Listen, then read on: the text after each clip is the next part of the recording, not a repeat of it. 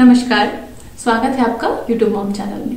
Friends YouTube mom channel पर हम आपको वो सारी जानकारियाँ उपलब्ध करवाते हैं शेयर करते हैं, जिनसे कि आप अपनी प्रेगनेंसी को अपने जीवन का बेस्ट एक्सपीरियंस बना सके, बेहतरीन बना सके। इसी क्रम में शरीर में होने वाले कुछ बदलावों से जुड़े कुछ फैक्ट्स कुछ बातें आज आपसे शेयर करने वाली हूँ। वो स्पेशली फोकस्ड है ब्रेस्ट पे, कि प्रेगनेंसी में ब्रेस्ट में चेंजेस होते हैं। सभी महिलाओं को होते हैं, क्योंकि ब्रेस्ट को बॉडी हार्मोनल तरीके से प्रिपेयर करती है डक्ट्स मिल्क की डक्ट्स प्रिपेयर होती हैं ताकि बच्चे के जन्म से माँ बच्चे को दूध पिला सके। लेकिन इसी दौरान कुछ ऐसे अनइजी सिम्टम्स भी होते हैं, जिनको कि अगर महिलाएँ नहीं जानती हैं तो झेलती रहती हैं और उनकी प्रॉब्लम कॉम्प्लिकेटेड हो जाती है। ऐसे चार लक्षण, उनके कारण और होम रेमेडीज की कब आपको क्या एक्शन लेना चाहिए? वो सारी सरल भाषा में आज आपसे शेयर करने वाली हूँ। तो ब्रेस्ट में कौन से चेंजेस अच्छे हैं? कौन से चेंजेस आपको दर्शाते हैं कि आपको कुछ ज़्यादा प्रॉब्लम हो सकती है? सबसे पहली चीज़ ब्रेस्ट में लंप होना। ये गलत नहीं है।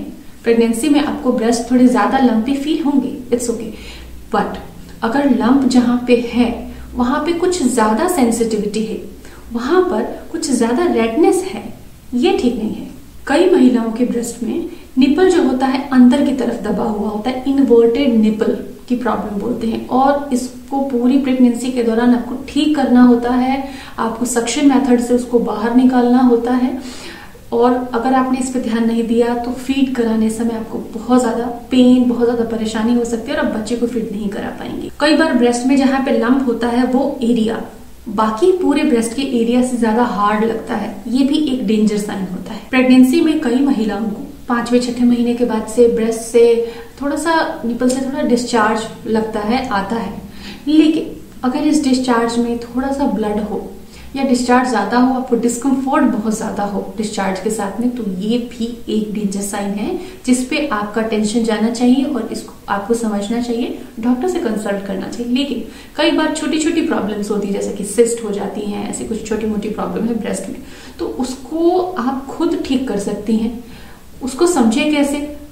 क्या वो सिंपल है या कोई क्रिटिकल कंडीशन है, इसके लिए वीडियो को पूरा देखें। फ्रेंड्स प्रेगनेंसी में हार्मोनल चेंजेस होते हैं। जो हार्मोनल चेंजेस होते हैं, वो बॉडी के अंदर फिजियोलॉजिकल चेंजेस लाते हैं।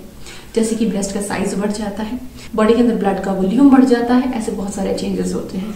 इसी क्रम में ब्रेस्ट के अंदर कुछ सिस्ट जैसे भी संरचनाएँ बनती हैं। नॉन कैंसरस यानी कि बिनाइन ट्यूमर्स भी हो सकते हैं ब्रेस्ट के अंदर। कई बार जब लैक्टेशन के लिए, यानी कि फीडिंग बेबी फीडिंग के लिए ड्यूरिंग प्रेगनेंसी आपकी ब्रेस्ट की नलियाँ, दूध की नलियाँ तैयार हो रही हैं तो कोई अगर ऑब्स्ट्रक्शन रुकावट आ जाती है तो वहाँ पे एक सिस्ट सी बन जाती है, गठान सी बन जाती है। कई बार महिलाओं को ब्रेस्ट के टिश्यूज में इन्फेक्शन होता है, जिसमें कि रेडनेस होती है, थोड़ी स्वेलिंग होती है तो ये कुछ कंडीशंस हैं जो दर्शाती हैं कि आपके ब्रेस्ट में कुछ प्रॉब्लम हो सकती है।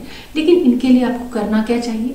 आप अपने स्तर पे क्या कर सकती हैं? क्योंकि पता चलते ही, तुरंत इंसान चाहता है कि कुछ प्रयास करके इसको हम ठीक कर लें।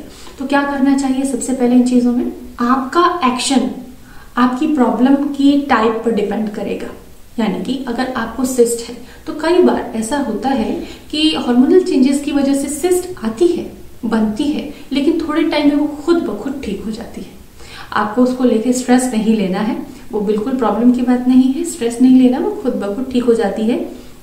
अपने खान पान एक्सरसाइज वॉकिंग वाटर इनटेक पानी की मात्रा पे ध्यान देना है। कई बार डिस्कम्फर्ट अगर है ब्रेस्ट में ज़्यादा पेन हो रहा है या लंपी फील हो रहा है और ब्रेस्ट में पेन है तो आप वार्म कंप्रेस यानी कि गर्म कपड़े से हॉट वाटर बैग से, जो भी चीज़ें गर्म करके आप सिकाई हल्की कर सकें तो वार्म कंप्रेस आप ब्रेस्ट पे कर सकते हैं। इसके अलावा हल्का मसाज आप करके देख सकते हैं, उससे भी आपको कई बार आराम मिल जाएगा। आप अगर पानी अच्छे से पिए तो भी आपकी कई सारी प्रॉब्लम्स सॉल्व हो सकती हैं तो हाइड्रेटेड रहना आपके लिए प्रेगनेंसी में सबसे इंपॉर्टेंट है अपने बेबी के लिए अम्योटिक फ्लूड के लिए भी, अपने हार्मोनल बैलेंस के लिए भी और ब्रेस्ट में होने वाले चेंजेस के लिए भी। वॉक ज़रूर करें। वॉक करने से आपका स्ट्रेस नहीं बढ़ेगा। वॉक करने से आप स्ट्रेस फ्री रहेंगी। एक और बहुत ही डिफरेंट बात है कि जो मदर्स ड्यूरिंग प्रेगनेंसी बहुत ज़्यादा इनसिक्योर रहती हैं उनको ब्रेस्ट में सिस्ट होना लंप होना, ऐसी ब्रेस्ट रिलेटेड प्रॉब्लम्स बहुत ज़्यादा होती हैं। तो आपके अंदर की इनसिक्योरिटी को आप खत्म करें, आप प्रेग्नेंट हैं, आपका ध्यान रखें। स्ट्रेस बिल्कुल नहीं लेना है, अपने डाइट को अच्छा रखना है ताकि वो आपको अंदर से मज़बूत बनाए और आप अपने प्रेगनेंसी को एंजॉय कर सके। फ्रेंड्स उम्मीद करती हूँ कि ये जानकारी आपको अवेयर करेगी और आपको अच्छी ज़रूर लगी होगी। चैनल को सब्सक्राइब कर लो नोटिफिकेशन बेल को दबाना बिल्कुल ना भूलें। मिलते हैं अगले एपिसोड में. Take care bye bye